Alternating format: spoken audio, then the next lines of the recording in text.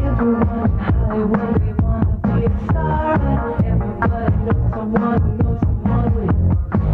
in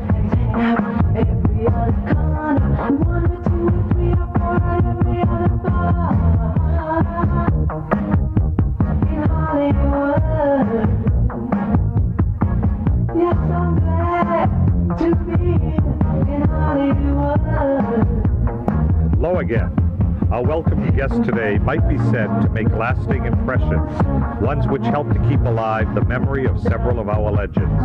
He's the unparalleled and witty Charles Pierce. Hollywood's the only place for mine to be. And now, here's your nonpareil man of the half hour, Skippy Lowe. Charles Pierce, congratulations. Thank you. Torch Song Trilogy. That's right. First the film, then the video. Then the video. Yeah. But the, the movie, what, I mean, Annie Bancroft. Michael Feinstein. Michael Feinstein. Harvey Harvey, Fierstein. I- Michael Feinstein. Yeah, right. We're getting we're getting started on, on a musical note. Harvey Fierstein, Ken Uh-huh. Page, Axel, Vera Axel. Yeah. Why did they choose you for that particular role? Because, you know, you're such a, you've been in nightclubs, television, movies, everything, but how did you feel by doing that? They Well, I loved you. it. I Did loved you? doing uh, Torch Song Trilogy. You know, I had we had, I think uh, seven, eight weeks work. Uh-huh. I wasn't, you know, on the set every day. Uh-huh. and you know what part I played. Wonderful. Birth of a Nation. Right. you look great. All in red. Happy holidays. Yes, happy holidays, and you too. Charles Pierce. Where is Charles Pierce? Watertown, New York. Is that where you're from? Watertown, New York. Yes, that's the hometown. Yeah. I understand you started in radio. Radio, 16 years old. World War II was on. They couldn't get any radio announcers, and I was in high school, and I appeared on a kiddies show called Kiddies Carnival at the Avon Theater. You know, in Uh-huh. in uh, motion picture theaters that don't exist anymore. Right. The Avon Theater. And, and this is in New York, up in New York At State. Watertown, New York. Water- New York. And I, I, I gave Patrick Henry's speech. Uh-huh. Give me liberty or give me death. Charles Pierce. Arthur Blake. Mm, Every time I think of Arthur Blake, I think of Charles Pierce because, you know, Charles, you, you and Arthur Blake are from the old school. Yes, well, Uh, that's uh, Arthur's the reason I'm working today. I tried to sell him material, Uh-huh. and he didn't. He said, "Well, this is much too prolific." It was a whole like four pages on the return of Norma Desmond. Uh-huh. From some, remember in Sunset Boulevard, she gets taken away at the end. Right. Well, the premise of my nightclub act originally was, what if? What if Uh-huh. Bette Davis had played Scarlett O'Hara, Uh-huh. and we wrote a skit, Mm-hmm. the birthing scene, and uh, then what if Eleanor Roosevelt Uh-huh. came back from Mexico? Olay, olay, any old lay. and what if Uh-huh. Norma Desmond got out of prison and, and went home? 1st Hmm. first time, how old were you when you had a high heels, gown, getting on stage, entertaining as as a yes, woman? drag Drag power. Drag power. What, how old were you? Well, I was probably 23 or 4, but you see... Really? Well, That yes. a- after Arthur rejected these uh, buying my material, Uh-huh. then I said I'll do it myself, and then that's what I did it at parties, Uh-huh. and they passed the hat, Mm-hmm. and then one thing led to another, and I ended up in Club La Vie in Altadena, California, Ah. Seventy-five dollars a week, and my evening meal, Uh-huh. which was a hamburger.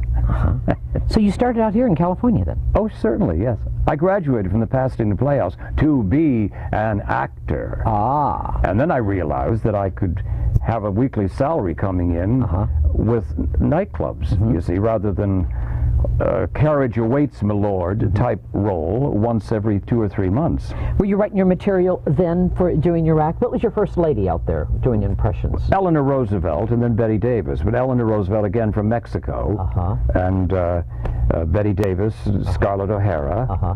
the birthing scene, Butterfly McQueen, Miss Scarlett, I don't know nothing about birthing babies. Uh-huh. And uh, Katharine Hepburn on the old African Queen coming closer to the Uh-huh. rapids up ahead. Did it seem easy for you to do those voices at that time, Charles? Going, Very easy. really? Very easy to pick up on them. Uh-huh. More so than today. People say like, you know, why don't you update your act? Why don't you do Bea Arthur or Right. Estelle Getty or Uh-huh. some of the designing women? girls? Designing women, yes, right. But tell me, I, I just don't understand. I don't Roosevelt. understand either. Roosevelt. Eleanor Roosevelt. Eleanor, yeah. Wonderful character. That is, uh, there was a man used to do that too. I can't remember. Well, that was Arthur Blake again with the knitting Blake. needles and the He Girl Scouts. Yes, yes. yes, yes, yes. Mm. But I, Bette Davis, those days, everybody was personating Bette Davis. Why they do you still think, are. Why do you think they pick her mostly? Oh, don't you think because of the way she moves, the way she acts, the, her bitchiness, uh, you know, The what gays she like that. says. Is that what they do? Of the gays course. like that? Have you ever seen a, a woman imitate Bette Davis properly? Ah, I see. See, don't you think it takes a man to do Bette Davis? You sing, Charles. You do a lot of singing in your act. Novelty songs, Novelty. little little patter songs. But you do Carol Channing, you do... Well, of course, darling, I do Carol. How does Carol feel about Charles Pierce doing... Well, I think I told you this before. She came when I was doing Gold Street in San Francisco, and she Uh-huh. said, "What would Charles? You do me better than I do." I love your hat. That's Thank a you. great yeah, I'm always going in these stores, and I see all these hats, and I've got a whole shelf full of hats, Uh-huh. and I never wear them. So I love I it. I- decided I'd. Charles, you brought Dress a up for video for, us. I love what you just did. You did a wonderful show called Designing Women. Designing women. yes. I love you brought the clip with us. Well, actually, we, we better clarify that. I did this about a year ago. okay. Yeah. So Can we show that clip of the Designing Women? I'd love to have you Because you're show it. doing. Are you doing uh, Joan Collins? Well, I'm the steward Okay. on the ship. Uh-huh. The, the girls have come, the designing women have Right. come to um, redecorate this ship. Okay, let's let's just show. Right. So. I'm. uh, Just, I think it's self-explanatory. Okay. But I mean, as the waiter, Uh-huh. uh, I mean, I am Joan Collins because, Uh-huh. as, as explained, they're they have a rough time in the kitchen. Let's just watch Okay, it. watch this. Designing Women. Thank you. Ruffins. Has that ever happened to you? No. Ladies, may I take your order? Oh, it's Joan Collins. You're going to be our waitress again, huh? Actually, darling, I'm tonight's entertainment, but they were short-handed in the kitchen. I see you two are still cruising. well, never give up. That's the spirit. Aren't you the person who brought our bags on board? Yes, I am. And I know what you're thinking. You think that this is your wig, but it's not. I've had this wig a long, long time. It just looks very, very similar. Ladies and gentlemen, Renner Cruise Lines is proud to present tonight's dinner entertainment, the Queen of the High Seas, Mr. Claude LaBelle. Oh, darling, hold this. I'll make a quick change. I just cannot believe it. Did you all see that? He's got my wig on. That's my wig. He stole it. Sure? Of course I'm sure. I had that hair grown special for me. I'm just going to have to report him to the police. Suzanne, don't make a big deal of it. Just let him have it. Anyway, he looks real good in it.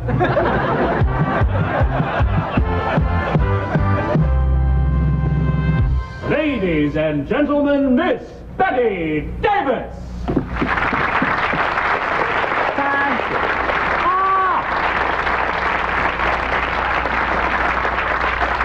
Thank you, darling. Hold those for me. Thank you, thank you, thank you. And thank you. what a cruise. Tell me, darlings, was that Joan Collins hustling the tables? Ah! She's got to go. One bitch on this boat is enough. Tammy Faye Bakker is with us tonight. I saw her on the deck. Her makeup fell off. It was horrible.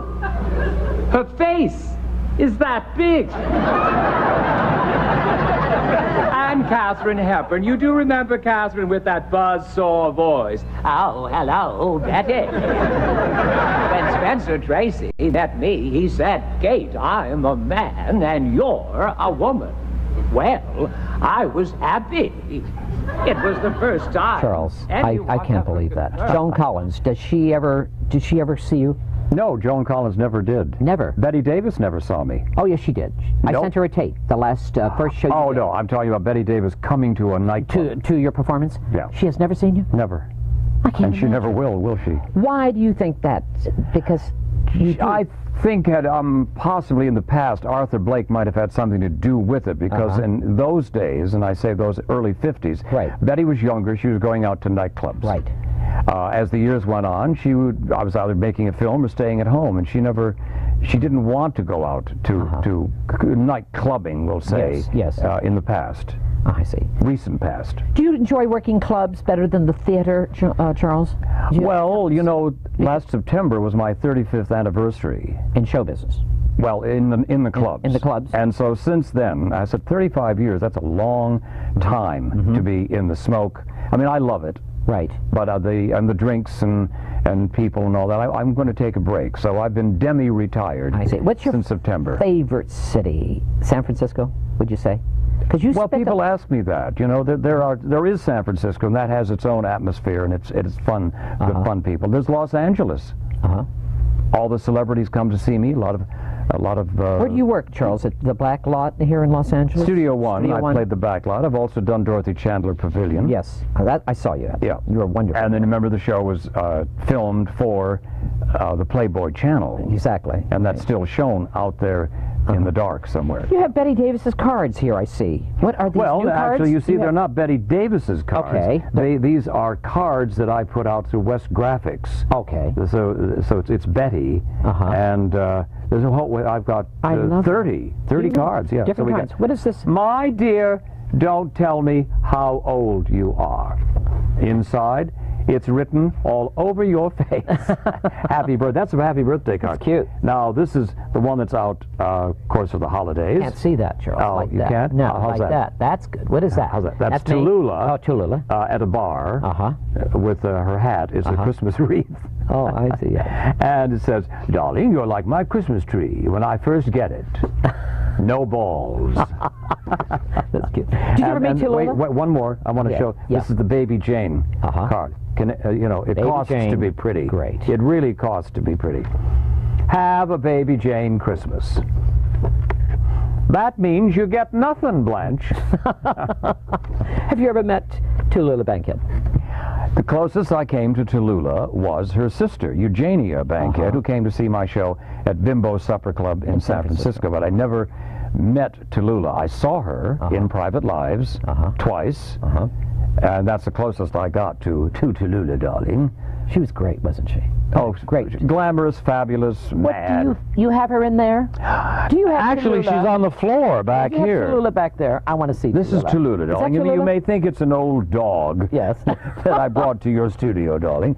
All right. You want me to do Tallulah? I love to see Oh, it. let's. Why That's- not? It's she's my Christmas favorite. time, and She's my favorite. everything is festive, darling. Uh-huh. Is that is that all right, darling? The minute you put the wig on, Uh-huh. you sort of go into the voice, darling. But I I decided that this time I should have some lipstick. You know, darling. Uh-huh. This is the third show we've done. This is like our own court song trilogy with Right. Michael Feinstein. I mean, Harvey Feinstein. ah, Tell me. Uh, oh, you. My God. uh huh.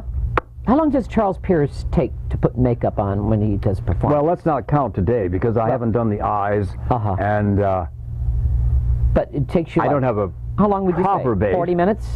Um, yeah, I'd ready? say 40, 40? 45. Uh huh. Mhm. So you really get right there. And how many changes do you right. do on stage? Eight. Eight changes. Eight changes when I when I do my full length show. Uh huh. Now for you, darling, I I haven't worn earrings in the past, but I thought, Uh. what the hell? Let's let's be glamorous and fabulous, darling. I Uh-huh. I must. Oh, I must put this on, darling. Looks like you had one of your gallstones removed. darling, that's my kidney stone.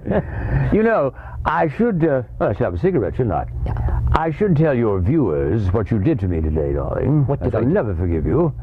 Well, you see, it was like this, darling. You see, when Skippy Lowe called me, you did call me, didn't Oh. Yes, you, I darling? did. I, expected a limo to pick me up. Oh, excuse- wrong! Nah, he didn't even send a radio dispatch cab. Why, there wasn't even a Toyota four-wheel drive. You know how I showed up today, don't you, Yeah, darling? How'd you do? in a small car with a sign on the top that said, Domino Pizza delivers. Did you get any pizza on the way? Uh, did I, darling? did, I, did I tell you? Uh-huh.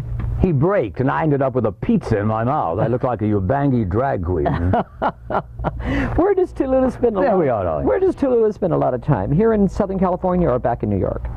darling, I thought you knew. I died ten years ago. Yeah, yes, yes, yes, yes. I'm up in heaven, darling. You know, I checked into heaven with a gorgeous sailor and a beautiful marine. Uh-huh. You heard the story, didn't you? No, I didn't. And St. Peter said, Now look, You three, if you think dirty thoughts up here in heaven, your wings will crumple and fall off. Uh-huh. Well, I walked past the sailor, and his wings crumpled and fell off. As he bent over to pick them up, the Marine's wings crumpled and fell off. Thank you, darling. You do all your own material, Charles. You think about Are it. you interviewing me as Tallulah or Yes. Charles? Oh, doesn't matter, Tallulah, darling, it doesn't matter, But, but no, of course, darling, I, I, I have my Tallulah stories. You know, Uh-huh. I've, I've told you my Tallulah stories. Why does Tallulah and Bette Davis argue all the time? They do have a, a bitchy attitude. Yes, we do, darling. Pourquoi? Why? Yeah. I thought I told you that. No. No, you never- Because Bette Davis always played on film parts that I created on Broadway. Ah. Little Foxes. Oh, all those shows, Uh-huh. darling.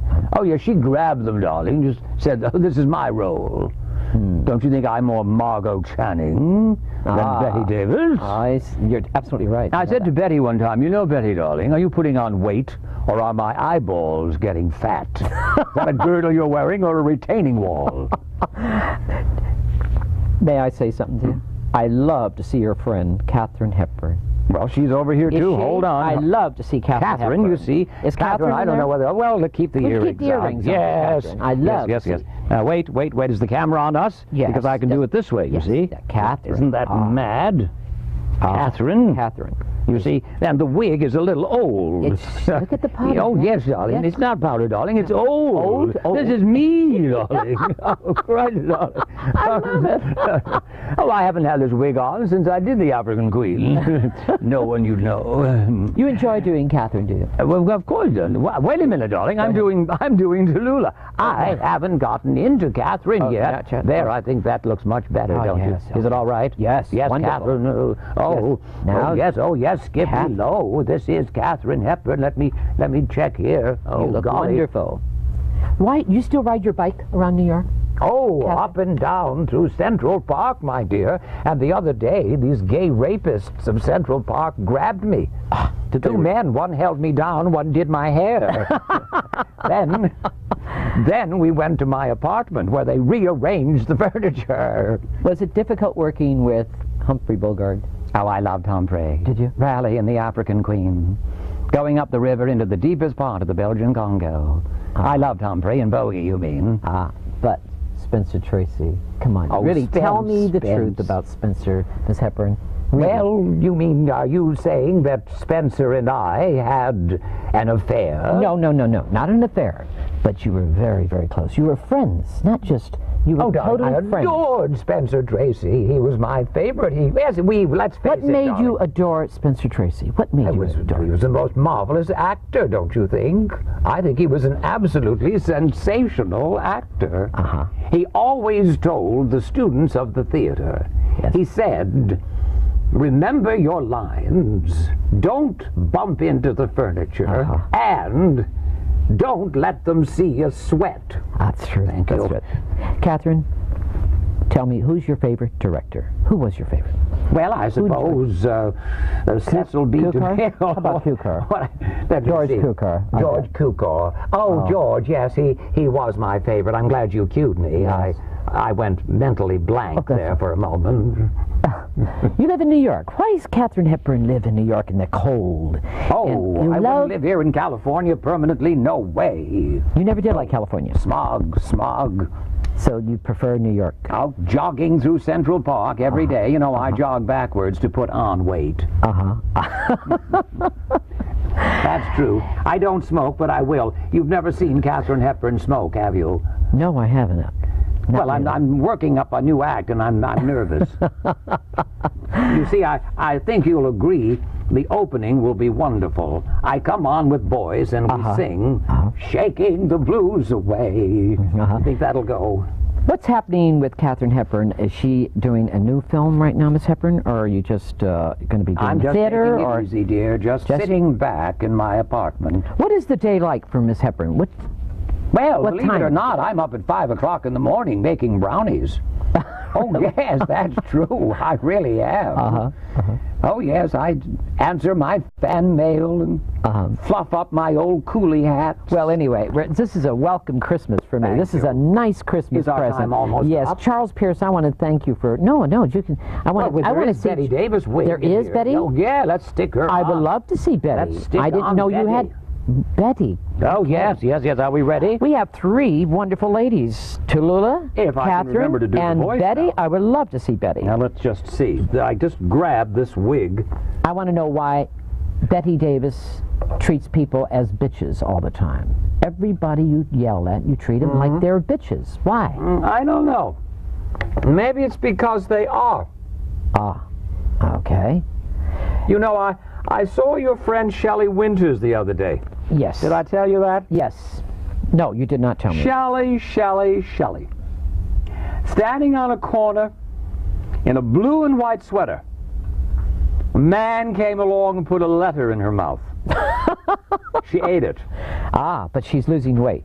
Shelley Good Winters, she's losing 30 pounds. She has already lost. I'm so happy to hear that. She and she's doing fine. And Delta Burke, what about her? Why are you so bitchy with people, Miss Davis? Why do I've you? already told you, they're always bitchy with me. Delta No. Burke especially. But I, I've got good news and bad news for you. Yes. Well, the good news is that Delta Burke has had four ribs removed, Uh huh. so she can be slender and svelte. the bad news is she ate them. is that bitchy Did you? enough? Yes. Did you enjoy doing All About Eve? Was that a course. tailor-made film for Miss Davis? It was my best film next to Jane, baby Jane Hudson. All About Eve is Margo Channing, and you know, it was a fluke that I got that. How did you get it? Well, Claudette Colbert uh-huh. was slated for the role, mm-hmm. but For Baby Jane. poor Claudette injured her back. Ha! And Betty Wonder Davis. how. Miss Davis, Joan Crawford. Difficult working with? Evil, evil Miss Crawford. Why do you call her evil? She was. Would I say otherwise? So Christina Crawford wrote the book Mommy Dearest. Yes. Is that true, you believe? You believe that? Well, I believe everything about Joan. I worked with her. You've, you've seen the new book that's out on us, haven't you? It's called The Divine Feud. Right. How evil she was to me. And of course, I must admit, I was a little evil to her. Why do you don't like Faye Dunaway? You work with Miss Faye Dunaway. I thought you knew the story on that. There are no ashtrays there. That's okay. Thank you. I know, I didn't know the story. And Faye Dunaway, and you she worked... kept an entire church congregation of extras. Uh-huh. She kept us waiting. I was the starring with James Woods Right. in that Aimee Semple McPherson show. Right. She kept us waiting in the heat for six hours. I finally got up to entertain them, and I did impressions of Charles Pierce. I see. so you don't believe a star should let people wait. See, you are you're oh, you're from the old school. Oops. That's right. You are from the old school. So that You know, means- Skippy, in the good old days when Warner Brothers, right. you know, I did have a limo take me to the studio, and I had makeup people waiting for me. Right. I had marvelous directors. Now, how do I get to the studio? I'm out on the Pacific Coast Highway, Uh-huh. hitchhiking to the studio. Uh-huh. I'm lucky if Ann-Margret comes along on a motorcycle and picks me up. I want to Awful. Bette Davis, I want to wish you a Merry Christmas and thank and a you. Merry Christmas and I dear. love to talk to Charles Pierce for one moment. If I can get back to Charles Pierce. Let's take I everything love to see Charles just for one minute. Back love to. Charles Pierce, normal. right? Charles Pierce. Okay. What is Oh. what is Charles Pierce? You've been on retiring for a little while. You just you know, Wait a you've minute. been Is away. this going to look good with the big red lips? Oh dear. Oh, it's It okay. looks Char- weird, Charles, doesn't it? That's fine. Charles, Should be doing cabaret. that's fine. Oh. But you are you've been retired. You've been doing things, not doing things. You're going. Are you, what's happening with Charles Pierce? Are you going back to work again? Well, I, soon? I somebody said back there the last half hour, you know, that it's 35 years, Right. and I'm just having a wonderful time doing the Skippy Lowe show. Uh huh. Chance to go to Chicago, go, to go to Chicago in Uh-huh. February. Let's say Uh-huh. that 10 times fast. Going to go to Chicago in February. Do a Uh-huh. one-nighter. Yes. Uh, things that I want to do. I don't want to know that in April of 1990, I'm doing two weeks in New York City. Uh-huh. I want to know that. I just want to know maybe four weeks ahead. Charles Pierce. Has Charles Pierce been really happy in all these 35 years as an entertainer, dressing with all these wonderful ladies, performing to that audience out there, giving your great talent? Has Charles Pierce really been happy? I think I, I have been happy, yes. Or I wouldn't have been. I wouldn't have reached this goal. I would have given up the ladies a long, long time ago if I said, "Oh, I can't do this anymore." So I, you have no regrets? I have no regrets. And I was thinking the other day, I, what I've liked about this career is that I have been more or less my own boss. Uh-huh. I have been the one to say, I'll You take that engagement. I will be the one to say, oh, I've got to work up this routine. There wasn't somebody coming in saying, here, Yes. there's your new routine, do it. Uh-huh. I, I've, I have been pretty much in control of my own career. So when you're on the road as Charles Pierce, Hmm. you are you are a one man man. You do your own thing. You have you don't need anybody to do your Well, wait, Yep. I've got my production coordinator, my musical comedy, uh, the director, uh, Right. my Miss Joan Edgar, Uh-huh. pianist.